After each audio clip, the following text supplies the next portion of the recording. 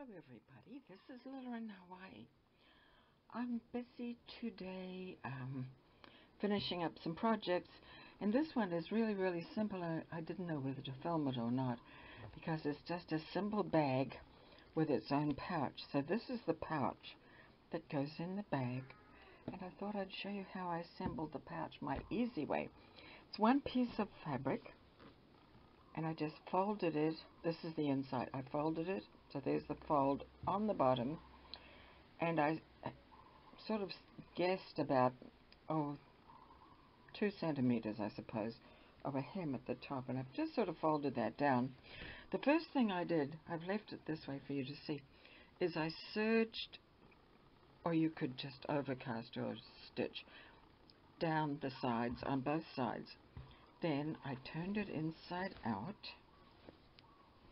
and then the next step was stitching again. So I stitched again to make it, I think it gives it a nice little extra professional look, you might say.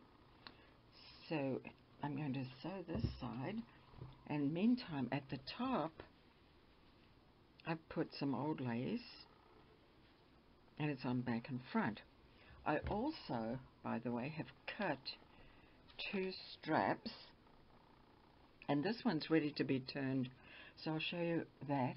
And here's one that I've already sewn and turned. So those are the straps. So that's all that's needed. I have the straps and then I have the bag on the outside of course.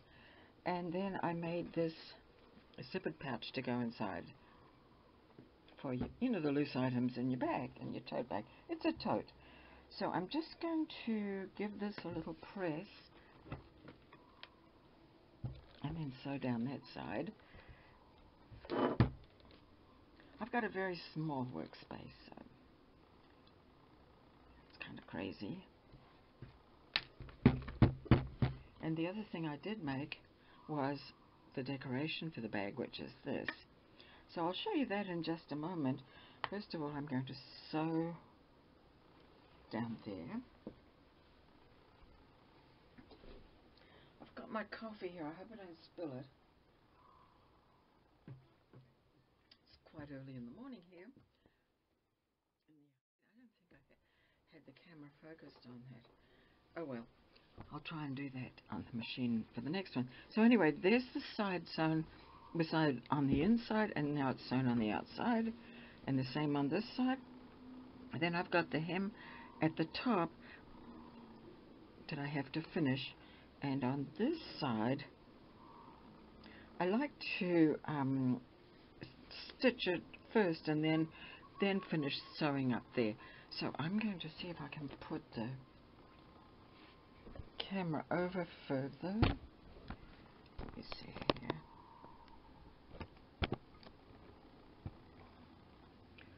Don't need that there particularly. Yep, there you go. Alright, so now I'm just finishing sewing. I have not sewn right around this, so I'm going to sew around this. And that's before I put the handles on.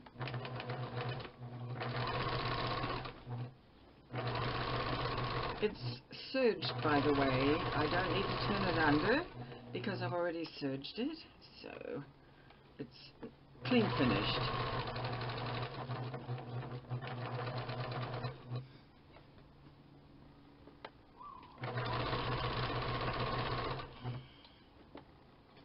Sometimes I'll do this by hand, but when it's one of these quick totes, I try to do as much as I can, you know, by machine. Okay, so I've sewn that around.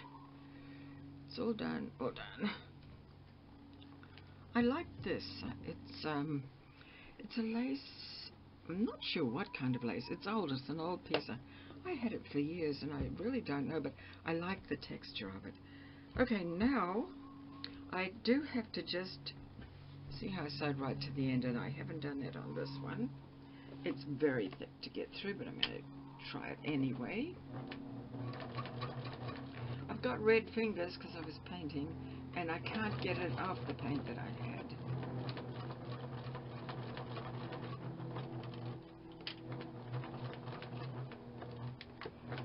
It'll wear off today but right now I can't get the paint off. Kind of like, almost like a dye. Okay, so that's that. So that's basically the bag. Let me see. So there's the little bag.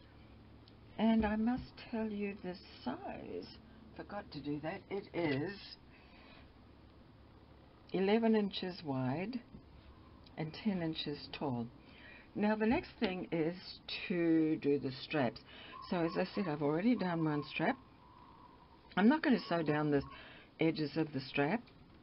And I have the second strap here.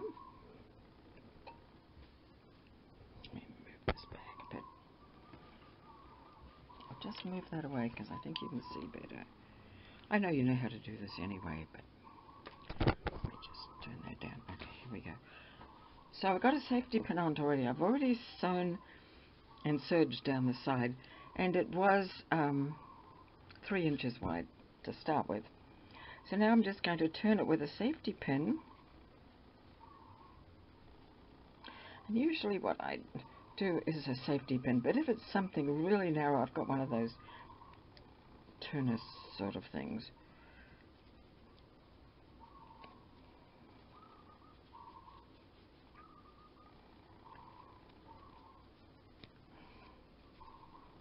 This fabric being like a chintz, it is hard to um, pull through in a way, but I'm managing okay.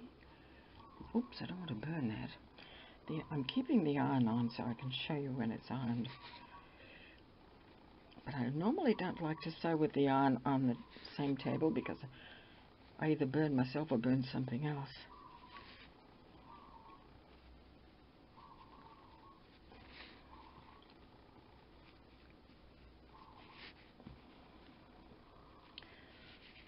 Okay, so I'm getting there.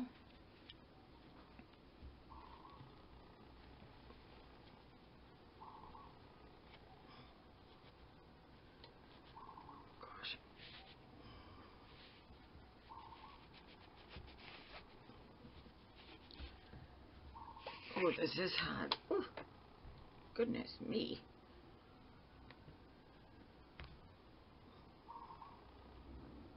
Okay, so there's the other strap. Sometimes I just put one, just depending on the style I'm sort of choosing. So here we go.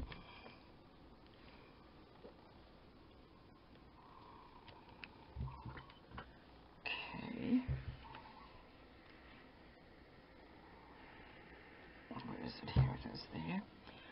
The way I'm doing this is I'm putting the seam, one of the, well, the one and only seam on the side of the tube. Okay. So that much is done. I don't think I need the iron again, so just for security, I'm going to remove the iron.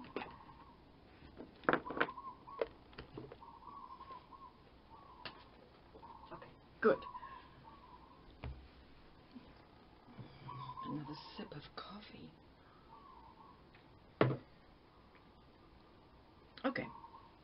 Now, I usually put the straps about, oh, what is that? About two to two and a half inches in from the sides. So, I'm going to put one like that. And I do pin them.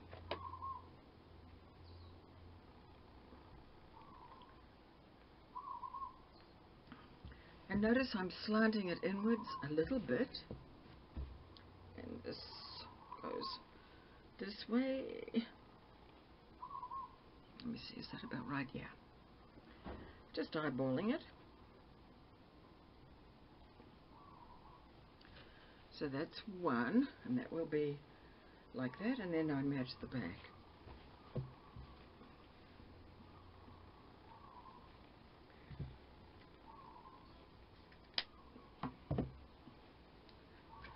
Okay, so let's see, this here.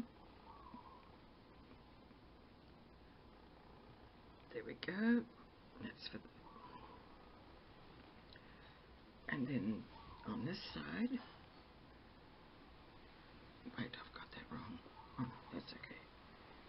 Is that right? I wanted to put the seam... No, I want to put the seam on the outside.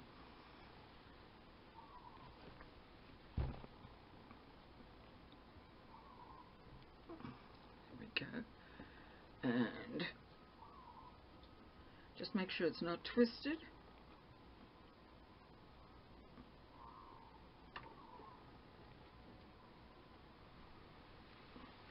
Okay, so this, there are the straps attached, and I've decided already this is going to be my front, and I made a flower already to go on it, and that flower, and that's the only decoration.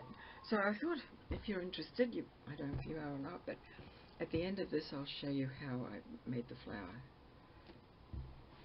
Next thing is to sew the straps on. I want to make sure that I don't sew it you know, and get them all caught in the machine. And I'm just sewing the strap. And I'm not going to go right around. I've gone around enough times, I think, so that, that's good.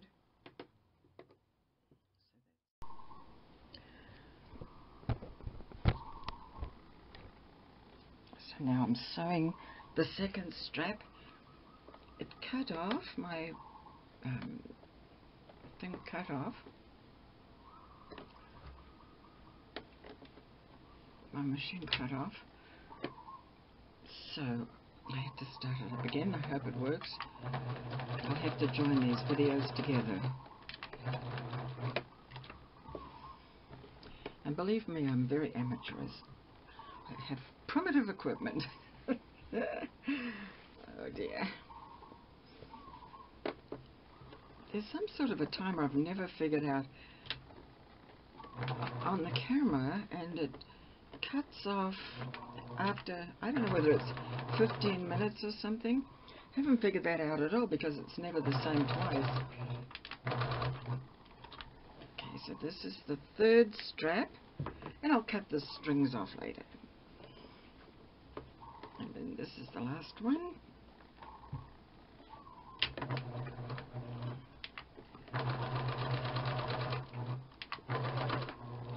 And of course I backstitched on both. So that's that.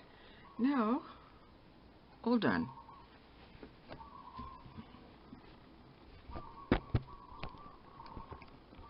So there's the little bag, very cute. Very cute, just handy for, you know, a little bit of flea market shopping or something like that. And um, by the time I get that on there, it's going to look very pretty. Let me put that there. I wanted this kind of flower so it didn't poke out and get in the way when you were shopping or something because if the flowers are too big and bulky they often will catch on things I've found. And so this one is going to this one is going to lie pretty flat. Almost looks like a sort of a yo-yo doesn't it? And then as I say I made a matching little pouch. I like to offset the zipper and that'll go inside. So that's that set right there. So I'll just put this aside. And I'll show you quickly before the camera clicks off again how I make actually what I'm going to do is remove the press cloth because I'll get glue on it for sure. Okay.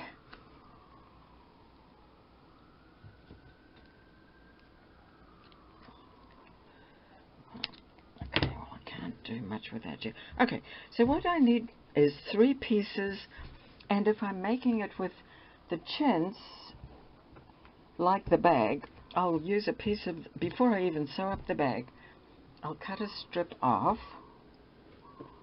like that. I cut a thin strip, it's about an inch wide, off one edge so that I've got enough to coordinate the flower, you know. So that's what I do. So this is because I don't have that anymore. So here's what you need.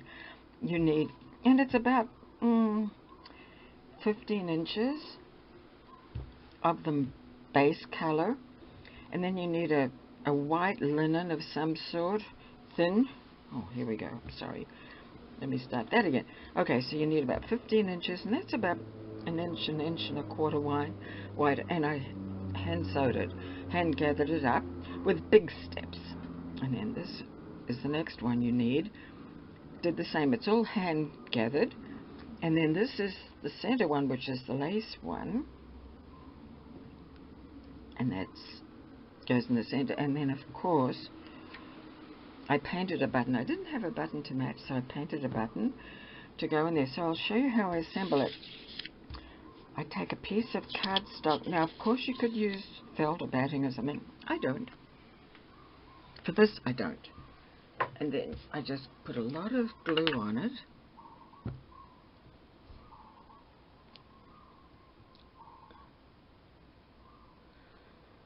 When I say a lot, I mean a lot.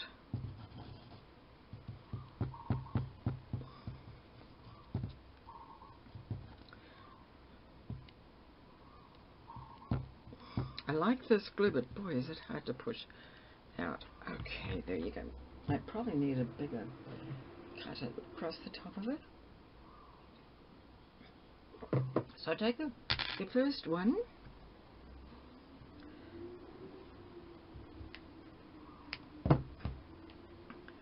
And I put it on the glue like that. And I sort of squish it around to where the gathers are, you know, pretty much how I want them.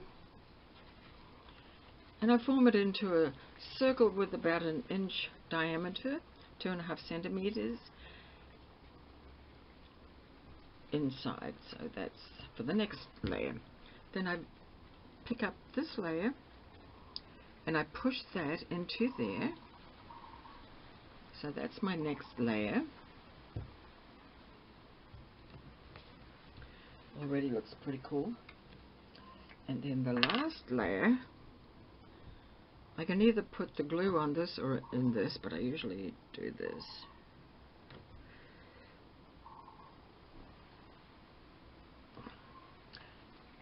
You have to really play with it, um, you know, to get it how you like, but when I gathered these up, I overlapped them a bit like that to start, and then did the stitching so it's already joined. Another one of those flowers, shabby, shabby chic, and the card is great on the back. You can trim it off, and I often will trim off the corners and sort of round it a bit before it dries. Um, but if you're gluing it onto something, it, it holds very well. And so that's how I usually do them course, you can play with this. You can poof it up more. You can, you know, do do whatever you want to make it look a little different. But that's my flower. Anyway, I'll just give you a look at the items I finished today. It's this. Well, I didn't finish this today. I had finished this before, so that's that. That's the zipper pouch that goes inside the tote. Cute little tote. So it's a nice set, you know, with, I'm thinking now of Christmas ideas, and during the next couple of months, I'm going to make some sort of nice item that I feel like would be good for Christmas, good for, um, I think either your mother or grandmother or friend or something for Christmas. So this would be an idea. Not It's not Christmas colors. I don't want to use Christmas colors for everything. But um, that's what I'm planning to do. So if you keep watching my channel, you will see other simple, I want to keep them simple. Simple sewing, that's good. I do a lot of involved sewing and embroidery and stuff, but I want to keep these to where most people can make them. And a lot of them will be made with um, my Japanese folding techniques.